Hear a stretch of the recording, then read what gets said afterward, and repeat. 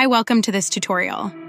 In this video, we'll show how to create lifelike lighting in D5. We'll also delve into using the AO overlay and preview feature to fine-tune shadow details and improve the overall realism.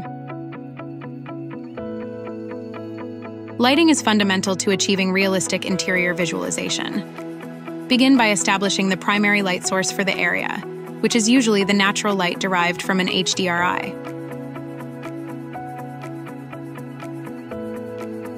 Next, add an artificial rectangular light outside the window, sized equivalently to the window itself, to mimic natural light and boost overall lighting. Consequently, the intensity of this rectangular light should be moderate to maintain a gentle illumination.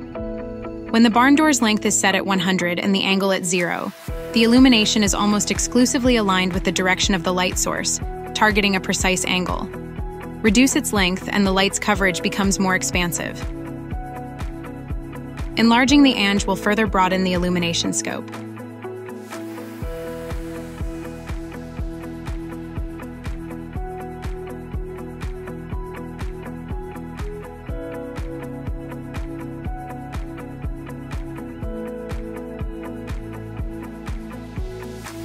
Use the same method to add another upward-facing rectangular light to brighten the ceiling.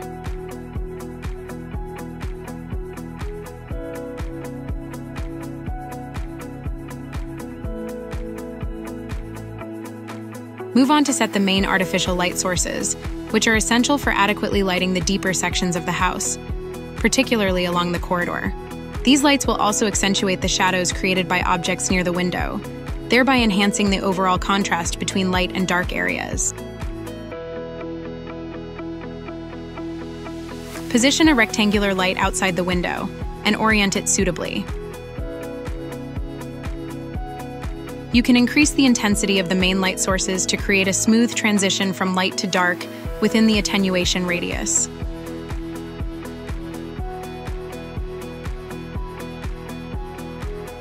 Duplicate this light source and position the copy facing to the right.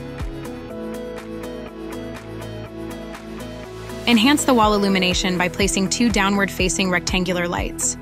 Switch to wireframe mode for clear visibility of their orientation,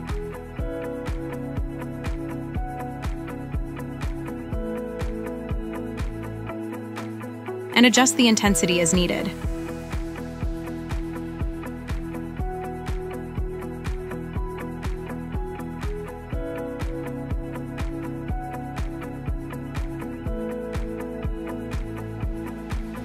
Now the main light sources are done.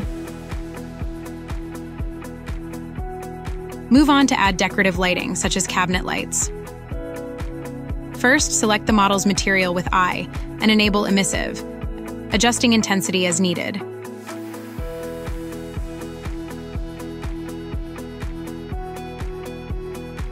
Install a strip light matching the model's length with low intensity to improve ambiance.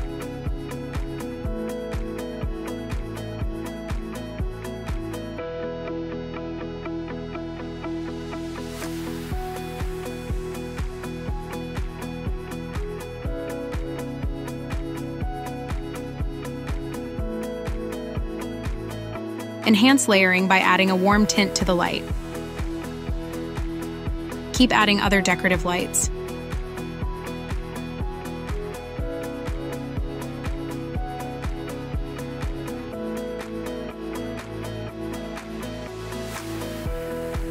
Upon finalizing the lighting design, the entire area is bathed in gentle light, casting soft, organic shadows. If you wish to further refine the shadow details, applying ambient occlusion, overlay in the preview, will be an effective strategy. Ambient occlusion represents the effect when ambient light is occluded in corners or crevices. You can apply this skill to enhance subtle shadows. First, go to the Effect panel and enable the AO option. Then, carefully adjust the AO radius to expand or reduce the scope of the shadows before turning on the AO Overlay in Preview button. When you achieve a satisfactory AO effect, activate the AO Overlay and Preview option to seamlessly incorporate the AO effect into the viewport. Adjust the overlay intensity to control the prominence of the AO effect within the viewport.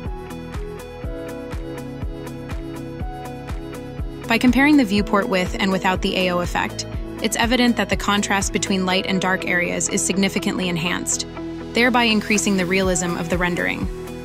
That completes our tutorial. Welcome to download D5 Render for free. Thanks for watching.